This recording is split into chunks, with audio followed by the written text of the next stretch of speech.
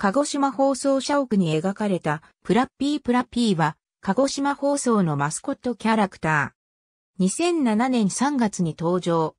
デザインは同じ系列局の九州朝日放送のかつてのマスコットキョロパクを手掛けた佐野久隆が担当。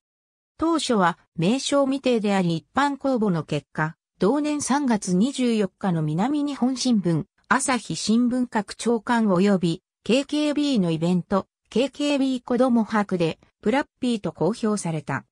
名前の由来は、KKB のキャッチフレーズである KKB のプラスとハッピーから取られたものを組み合わせた。誕生日は10月1日に似た形をしたオレンジ色の帽子をかぶっており、性格は気ままでひょうひょうとしておりプラス思考だという。ただし、その見た目からか、周りからは何を考えているかわからないと言われている。好きなことは旅と音楽とテレビ、食べ物はさつまいも。登場当初はテレビコマーシャルで登場するのみ。その後鹿児島放送社屋に描かれるようになった。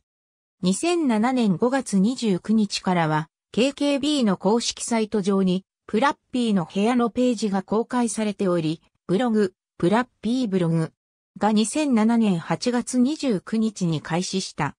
また、着ぐるみも用意されており、名称公表示を、はじめ2007年の小学生クラス対抗30人31脚、鹿児島大会の表彰式などに登場している。ありがとうございます。